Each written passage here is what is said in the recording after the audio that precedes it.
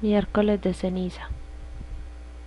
El miércoles de ceniza es el primer día de la cuaresma en los calendarios litúrgicos católicos, protestante y anglicano. Se celebra 40 días antes del inicio de Semana Santa, es decir, del Domingo de Ramos. La ceniza es elaborada o extraída de los ramos benditos de la Semana Santa anterior, es decir, de los del Domingo de Ramos. Estos se incineran y de ahí sale la santa ceniza. Este día ocurre en diferente fecha del año de acuerdo a la fecha móvil de Pascua. Puede acontecer entre el 4 de febrero y el 10 de marzo. ¿Por qué miércoles? Cuando en el siglo IV se fijó la duración de la cuaresma en cuarenta días, esta comenzaba seis semanas antes de la Pascua en domingo, el llamado domingo de cuadragésima pero en los siglos VI y VII cobró gran importancia el ayuno como práctica cuaresmal, y por aquí surgió un inconveniente.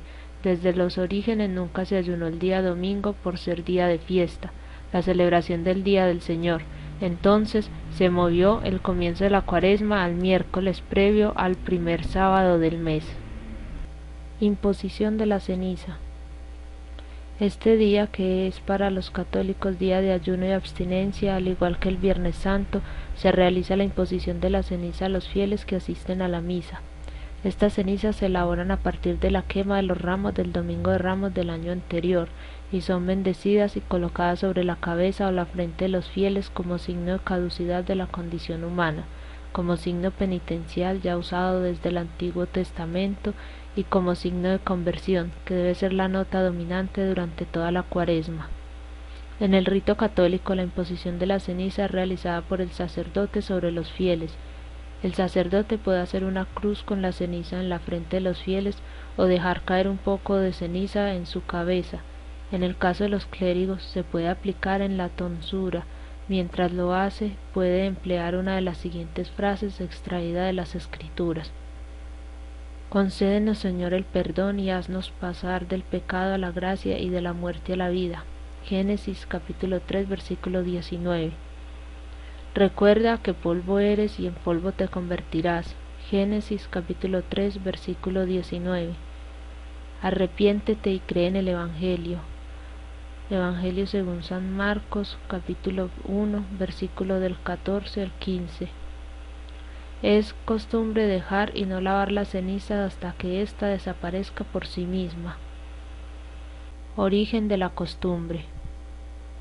Antiguamente los judíos y otros pueblos de Oriente Próximo acostumbraban a cubrirse de ceniza cuando hacían algún sacrificio y los ninivitas también usaban la ceniza como gesto de arrepentimiento profundo.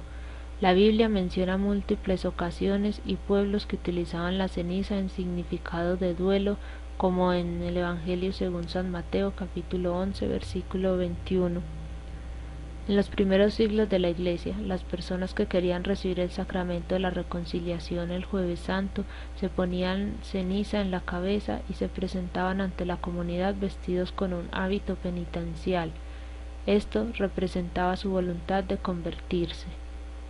En el año 384 después de Cristo, la cuaresma adquirió un sentido penitencial para todos los cristianos y desde el siglo XI la Iglesia de Roma solía poner las cenizas al iniciar los cuarenta días de penitencia y conversión.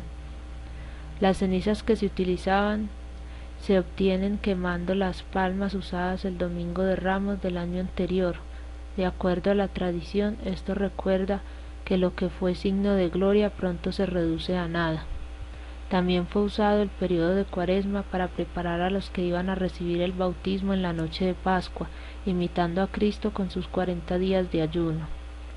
La imposición de la ceniza es una costumbre que recuerda a los que la practican que algún día vamos a morir y que el cuerpo se va a convertir en polvo. Tomado de Wikipedia. Recuerda, Jesús es el buen pastor. El Señor es mi pastor, nada me falta. En verdes praderas me hace reposar, me conduce hacia las aguas del remanso y conforta mi alma. Salmo 23.